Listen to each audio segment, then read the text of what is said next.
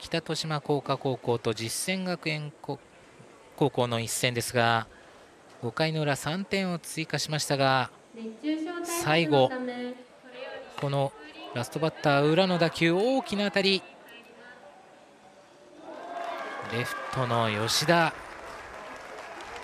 マウンド上風のこの表情でも伝わるように素晴らしい味方を支えるプレ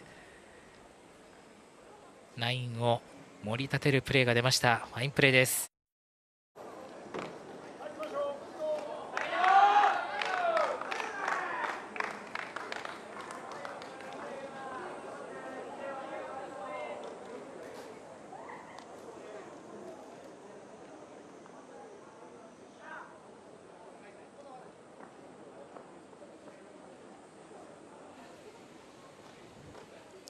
北豊島工科高校と実践学園の一戦。さあ投稿来ています。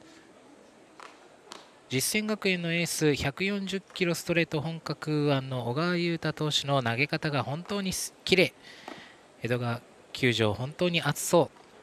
北豊島工科高校の皆さんも実践学園高校の皆さんも水分補給しっかりとって、えー、怪我に気をつけてほしいですというコメントをいただきました。ありがとうございます。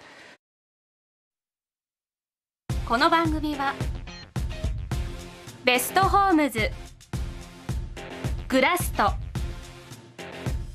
技術技能講習センター中野サンモール商店街振興組合富岡八幡宮。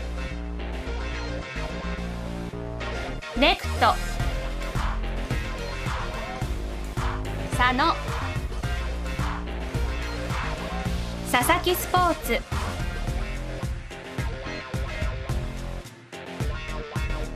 スパーホテルなごみ。小川産業。グッドスタッフ。ネットコム。他各社の協賛でお送りしています。